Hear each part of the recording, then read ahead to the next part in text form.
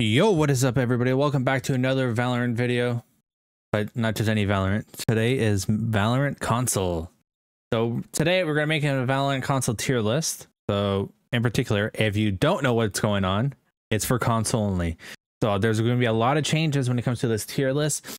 And so like certain characters that are A tier, maybe B tier on console, or sorry, on PC, might not be as good as let's just say their PC counterparts. Okay. So basically, I see this. I'm. I split pretty much all the characters into duelist, support, controller, sentinel, and stuff. Or sorry, not support, uh, initiator. But I separate into the categories, and I'm just going to go one by one. I'm going to do duelists first, and then initiators, and we'll get right into it. Okay.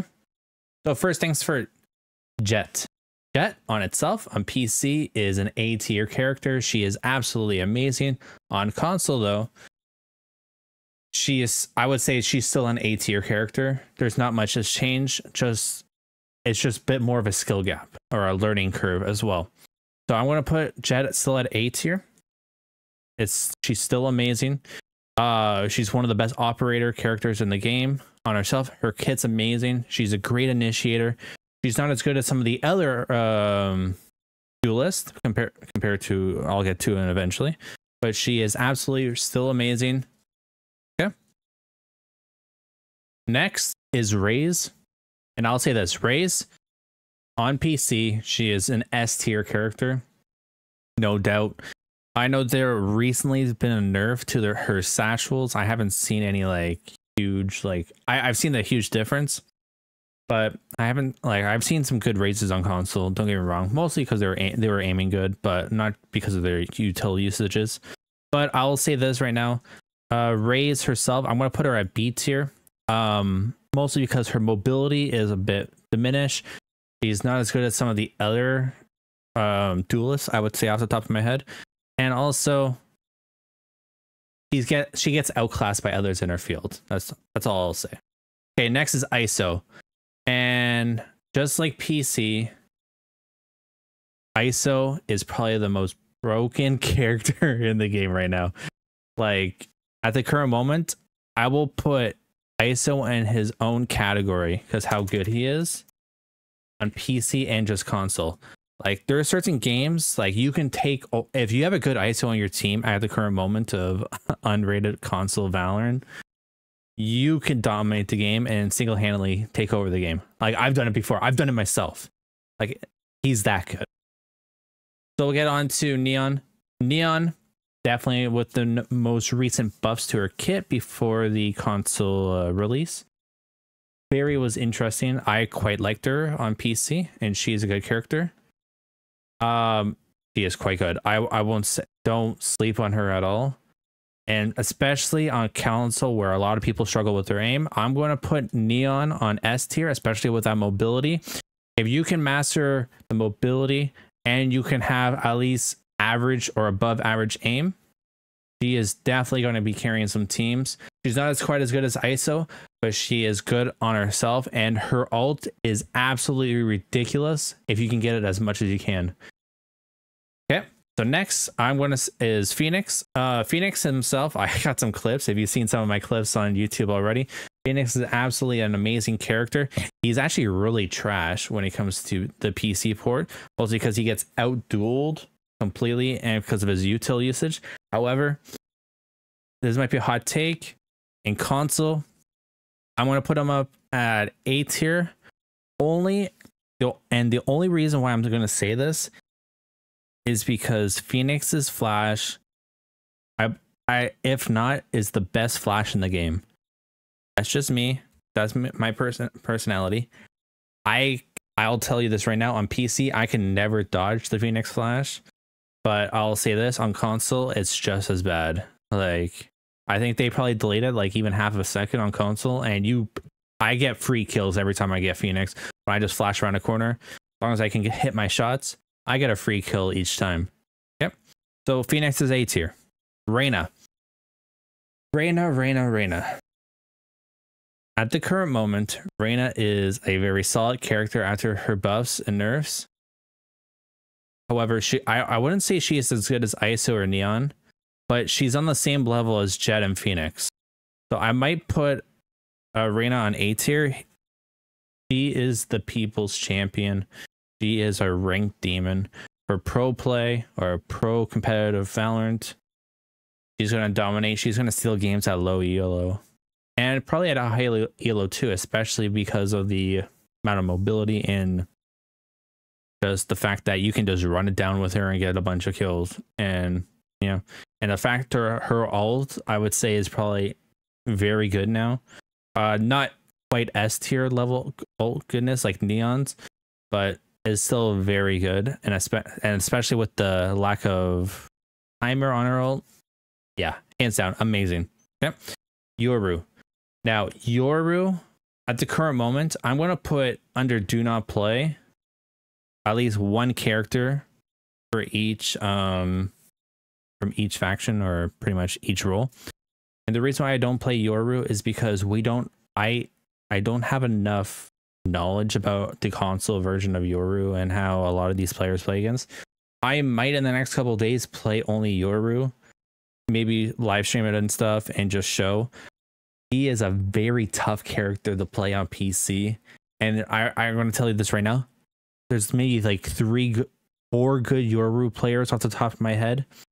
And if you say you're a good Yoru player, if you're not in those top four in my head, like uh, tens, I believe there's a guy from uh, uh, APAC, and then pretty much the um, the two big Yoru uh, YouTubers everybody else, I wouldn't. Yeah, red. I believe it's red. Yeah, one of them's red.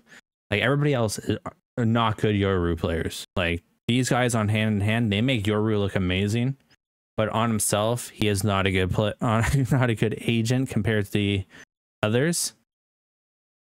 A lot of the others, like ISO, is a very easy character to pick up, and the amount of skill that takes to master ISO is very minimum. While Yoru is a high skill agent like I would put like if if anything, if I can make Yoru work in the next couple days, I might put Yoru in S tier. Like if Yoru because of the flashes and stuff and the the difficulty of avoiding flashes and on the console version. I'll say this. I will this might be a hot take. I won't be surprised in the next couple days I might be putting up clips of Yoru dominating. Okay? That's just me. So next uh, we're going to go to initiators now. Okay. So for breach, breach is very good, I would say. Um, the problem with breach is he's very coordinated heavy. Like you, like you can definitely get some cheeky stuff solo uh, using him, but he is more meant for team play. And at the current moment, it's all about running it down without your team and getting as many kills as you possibly can. But I'm still gonna put Breach maybe at B tier. Um, he's definitely more of a setup character. I I'm just more of a fan of the other people, especially. Uh, that that's just me personally. I, I'm just more of a fan of the other characters. Uh, KAY/O. I'm gonna put KAY/O under do not play for um console players, mostly because KAY/O is a, again, he is a high skill agent, especially like no matter what anybody says, I still think KAY/O has the highest skill ceiling out of all the initiators. The problem is it it's heavy play around a team. And the problem with compared to Breach and KAY/O is it's a lot easier to set up your team with Breach because how easy just to throw your flash to a wall where there's specific lineups you need to do for KAY/O to be super effective. Well, that again, this is just my opinion. I wouldn't like for the new console players, I wouldn't suggest playing KAY/O. He is a very difficult agent to play, but he's still quite good. Uh Fade, on the other hand, um, I'm gonna put Fade maybe at C tier. She is good. She don't get me wrong, she is a good agent. Problem is, especially with all what's going on in beta right now, there's not enough team coordination to really delve out her kit. She's a really good agent for setting up your character or sorry, your teammates and stuff as initiator. But as a person who wants to carry your games and actually want to get some nice clips and stuff, and a person who wants to get a, a lot of kills. Fade's not going to do that. But eventually, once we get into the ranked, I think this tier list will definitely change once we hit the ranked. Like once ranked is unlocked and it ranked is up for everybody, this character will definitely be maybe a B or A. That's just me. Like Gekko, I would say anybody with the flash is absolutely amazing right now. Next to Breach. Breach is a Breach is dependent. But Gekko on himself, he, his flash is super easy to use. His damage molly is amazing. Uh his little little wing buddy, little bro, I like to call him. Little bro is absolutely good. If you know how to use little bro effectively, and if you have like if you're do, do doing or like with a team right off the top of my head, if you're like in a party, I would say run Omen, Gekko, and then maybe an ISO, and you're gonna win th- like at least majority of your games. Like all you have to do at this current level right now is throw a smoke over the bomb, throw the Gekko's, uh, little wingman onto the bomb. I would say half of the rounds you'll probably um, let's just say you'll probably win just based on that tactic alone. At the current moment at the current moment. But even then like his ult is good his flash is good his um his little wingman's good his molly's good like definitely an a tier character. And he's very easy to learn. Like he's not a very high skill agent. Like Jett, phoenix Reyna Gekko are very easy agents to learn especially with the amount of kills they can get neon a little bit trickier but he, uh, she's still a really good agent uh, Sova. I'm gonna put right now. Unfortunately, I love Sova. I'm also partially a Sova main on PC, but I'm gonna have to put Sova in B tier, only on the basis of this. On the basis of this. There's only we're not setting up our team right now. Not a lot of people do shock dart lineups and stuff, and the way Sova is used generally on PC and stuff is setting up your teammates, but everybody's so uncoordinated. Like he's just not worth playing at the current moment right now for most people. I love Sova. Like again, I there's a lot there's a lot of tricks I know, and eventually I'm going to do a lot of character breakdown guides of these characters, especially for for all you console players. But I will say this: at the current moment, Sova is not the best agent to learn right now. That's just me personally. Okay, we are off to smokes, uh, whatever, whatever it's called. Not sentinels, controllers, controllers. Oh, actually, sorry, scratch that. We uh, missed Guy. Skye is going to be, um, that's going to be eight. There's not much to say. Her flashes are good. Like, there's a lot of cool stuff you can do, even just a solo Skye. Don't sleep on Skye. Uh, I would say her dog's useless pretty much at the current moment, mostly because of how everybody plays. But at the same time, once once um how do I say this? Once more people play and stuff. Once more people play, um I'm losing my train of thought. Holy shit. Once people play more to What the fuck?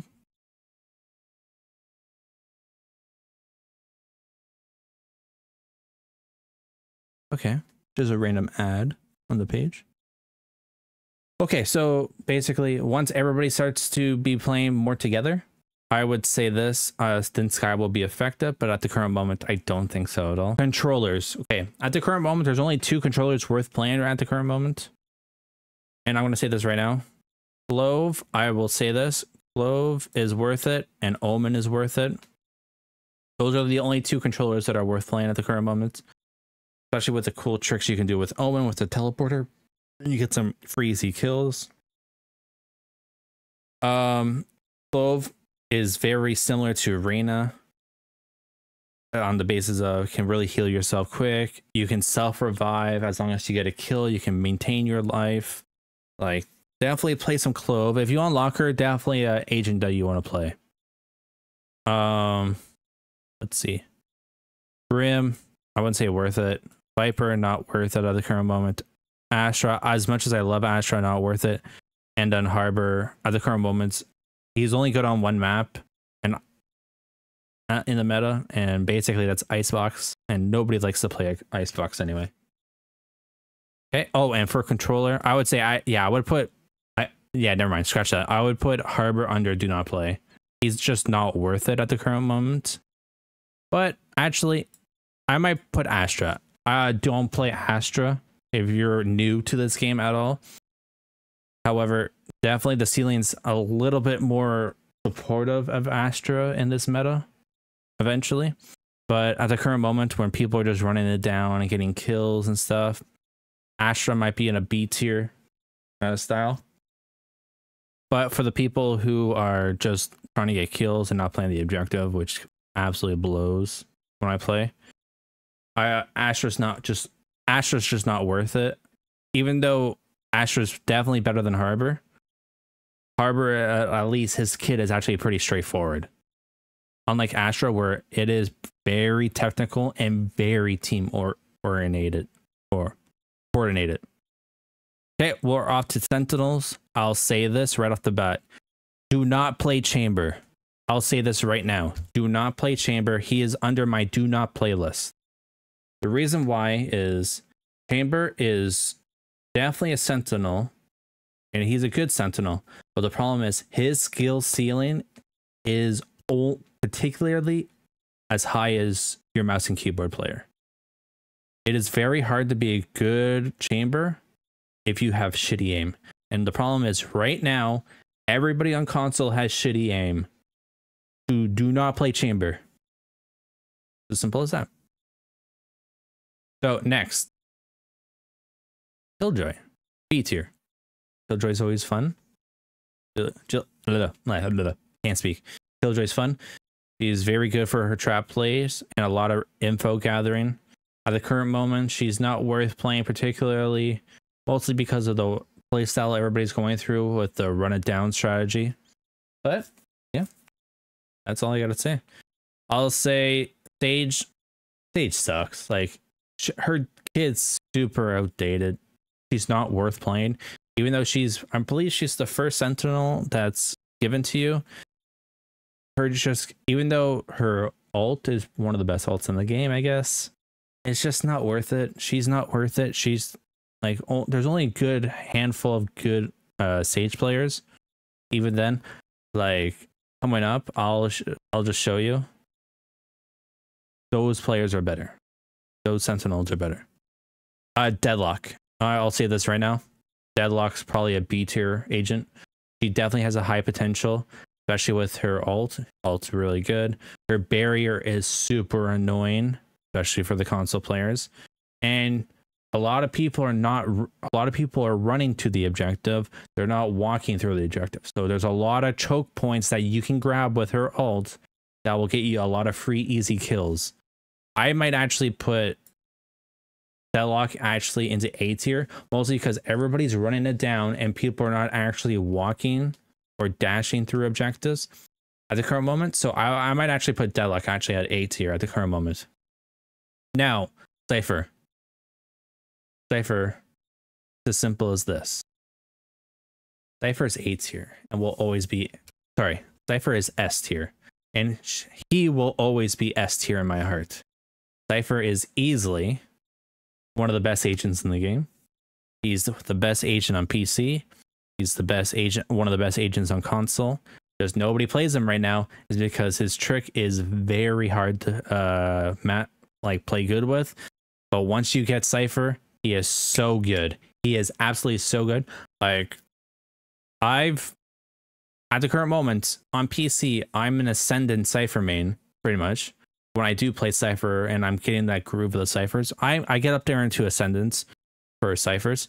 And a lot of my game style is shooting through my cages, trapping people, like and gathering information for my team and holding down forts. This is going to be a very high, like five rush characters where the exact same situation with Deadlock, where everybody's just going to run it down. People are not going to be wary of the cages. Okay. So you're going to get a lot of easy and free kills through your cages and through your trips. So if there's anything I want to you can take away from this, is definitely try out Deadlock and Cypher. Definitely, if you are looking to play more of a Sentinel control lockdown agent. For duelists, try Neon and uh, ISO. ISO has it's a must right now. And if you're looking for a send it down agent, I would look for Clove. If you're looking for initiator, play probably Gekko. Okay. So that's my tier list, everybody, for this. Uh, that is, sorry, guys. That is my tier list for the console version of Valorant. Thank you so much. If you like this video, hit the like and subscribe down below. If you disagree with anything I said, please leave a comment down below. I am actually looking forward to hearing any of your feedback and maybe, maybe I might take some of it into consideration when I do another future tier list once rank gets unlocked. Okay. So I'll see you next time, everybody. Peace out.